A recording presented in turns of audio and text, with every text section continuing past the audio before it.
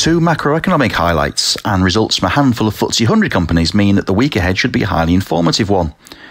Top down, the feature overseas will be the latest batch of monthly data from China, which will reveal the latest trends in the country's industrial production, retail sales, and investment in tangible assets. The numbers are due out on Monday, the 15th of June, although the timing could be a bit variable. This will be intriguing, as China was first into lockdown and therefore pretty much first out, so Western economists will be looking to see how well, or otherwise, the economy there is regaining momentum. The Purchasing Managers Indices, or PMIs, are back above 50 to suggest the economy is growing again, which is encouraging after the 6.8% year on year fall in GDP suffered in the first quarter. Moreover, all through these indicators have started to show some improvement in April, so it'll be fascinating to see what May brought. Just to remind you, back in April, investment in fixed assets fell 10.3% year on year, Retail sales fell 7.5% and industrial production actually rose by 3.9%. On the home front, unemployment and wage growth will be centre stage on Tuesday, the 16th of June. The latest figures will cover the three month period to the end of April and thus catch the first full month of lockdown. Hopefully, government support in the form of the furlough scheme will have kept a lid on, on unemployment, but we'll see whether firms had enough cash to see themselves and their staff through until when the furlough cash actually became available. In March, the UK unemployment rate actually fell slightly to 3.9%, although wage growth cooled again, sliding to 2.8%, its lowest mark since June 2018. Company wise, the cast list is select, but should be no less useful for that. Again, however, do note that the Financial Conduct Authority is giving companies extra time to compile their results and accounts, so these dates are potentially subject to change.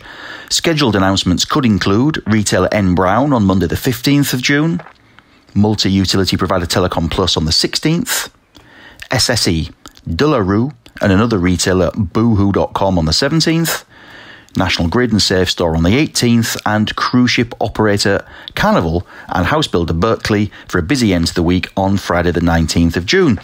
But for me, the stock most likely to cause a fuss in the week ahead is Ashtead. The equipment rental giant's due to report its full year results on Tuesday, the 16th of June.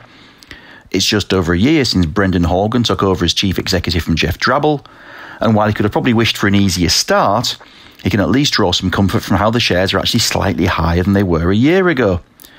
Now, this may look strange when the company rents out capital equipment and so, is, and so is very dependent on the economic cycle and industries like construction and house building for its bread and butter.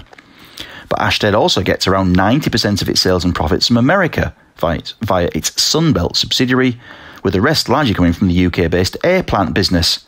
Investors are clearly taking the view the American economy, at least, is going to bounce back from the virus and lockdown very quickly. May's addition of 2.5 million jobs in the US will only further that impression, and the US Federal Reserve and government on Capitol Hill have thrown over $7 trillion in support at the economy since March. We can also see how the manufacturing purchasing managers indices have started to show sensitive signs of improvement in the US and UK, and that could help Ashtead going forwards.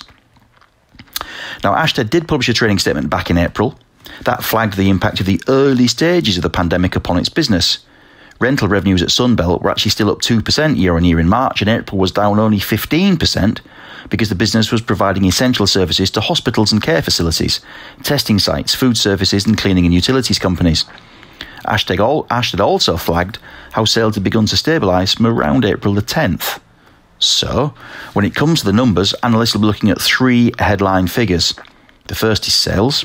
On a stated basis, Ashtead had been consistently generating double digit percentage sales growth, although momentum had begun to slacken a little bit even before the viral outbreak.